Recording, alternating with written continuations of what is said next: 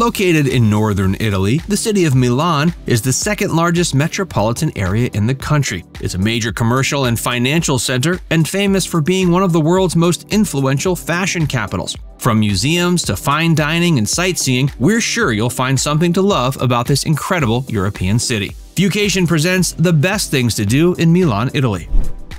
Duomo di Milano the Duomo is a prominent Gothic cathedral that happens to be the largest in the city. The cathedral's full name is officially the Metropolitan Cathedral Basilica of the Nativity of St. Mary. It took almost six centuries to build between 1386 and 1965, and the end result is nothing short of remarkable. Of course, you can always go inside and admire the interior. A small fee is required, but we highly recommend it. Inside you'll find the world's largest Gothic vaults, in addition to beautiful stained glass windows, gold-adorned altars, ornate sarcophagi, and marble statues. One of the most intriguing, albeit somewhat disturbing statues is one that depicts St. Bartholomew holding his flayed flesh. The most revered and famous relic held at the cathedral, however, is a nail that is believed to be one of those used to crucify Jesus. A celebration is held annually around this relic that's called the Rito della Nivola. Underneath the Duomo, accessible through its interior, is the archaeological area. Here you can see what has been excavated so far of the baptisteries of Santa Tecla and St. John, which are said to date back to the 4th century AD. Another area worth visiting is the Duomo's roof terraces. While this does indeed require an additional fee, it's worth it for the phenomenal views. The roof is enormous and filled with Gothic spires. You can reach it by taking an elevator or the stairs. The Duomo is also home to a museum that houses a large number of artworks, relics, and other elements connected to the cathedral. This is a great pit stop before or after visiting the rest of the cathedral.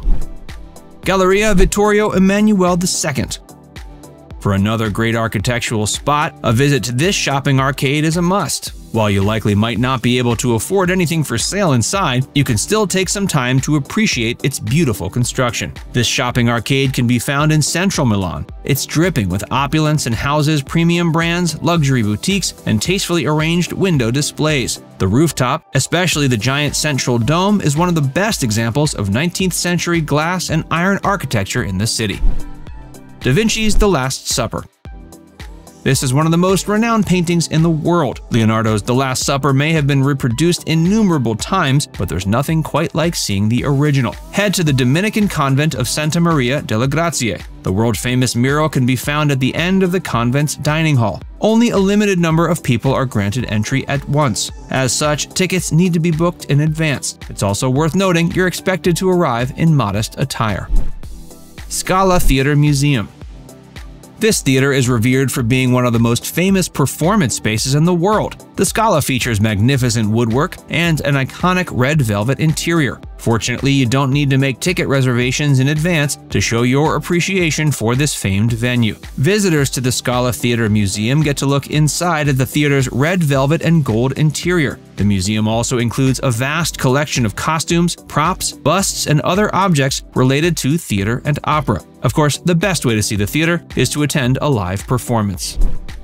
Castello Sforzesco in the Middle Ages, various regions of Italy were ruled by different sets of rich and powerful families. In Milan, the House of Sforza were the main ruling family between 1450 and 1535. They built the enormous Castello Sforzesco on top of the site that once held a 14th century castle. This beautiful structure was built to be the residence of the head of the Sforza family. As you can imagine, no expense was spared. It was designed with both aesthetic and defensive roles in mind. With its sturdy brick construction, the castle features imposing structures like thick defensive walls and towers. Back then, it was one of the biggest fortresses in all of Europe. It was meticulously decorated by some of the most renowned artisans of the time, including Bramante and Da Vinci. Today, a relatively large portion of the castle still stands and is open for tours. The grounds are free for anyone to visit, but for a fee, you can also also visit any of the castle's eight museums that can be found inside the castle itself. The museums cover a large range of topics including Renaissance-era art, ancient art, Egyptian artifacts, musical instruments, and archaeology. Inside you'll find everything from paintings to statues to sarcophagi to ancient coins. There's even a sizable collection of weapons and suits of armor.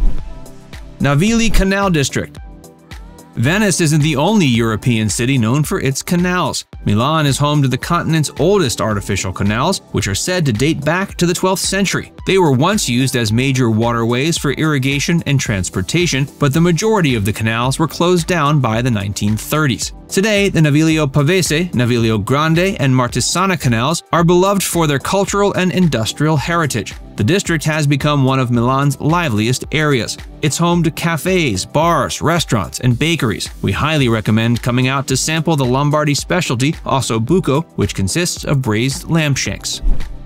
San Siro Time is running low to see the famed San Siro Stadium, which will be demolished shortly after the 2026 Winter Olympics. It's one of the most iconic soccer stadiums in the world, and it's shared by Italian giants Internazionale and AC Milan. Soccer fans from all around the globe visit this famous arena to take a tour or to attend a match. It consistently appears on the top of lists of Milan's most popular attractions.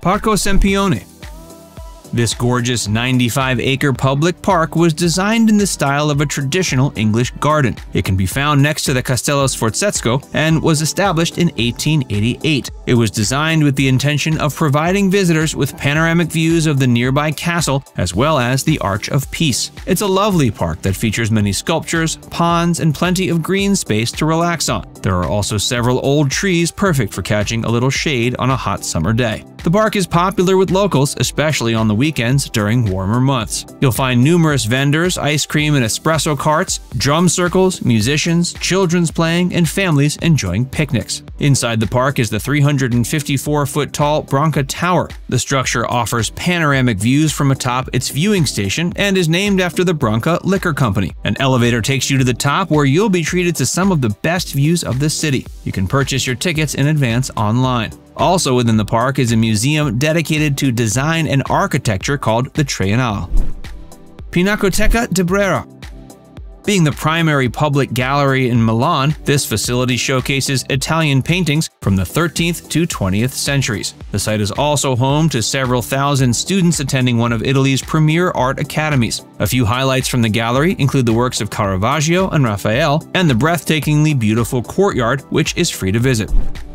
Lake Como for a great day trip idea, consider taking a journey to explore one of Italy's most scenic spots, Lake Como. The lake is nestled in the foothills of the Alps, just 50 kilometers north of Milan, and it's easily accessible via train, departing from the Central Station or Cordusio Station. After arriving at the small town of Como, you can begin exploring the wishbone-shaped lake that bears its name. You can take a ferry to sightsee around the lake, or visit one or more of the delightful destinations at the lake's center, Menaggio, Varenna, and Bellagio. Now it's time to hear from you. Have you ever been to Milan? Did we miss any of your favorites? If not, do you think you'll ever get there? Let us know in the comments section below.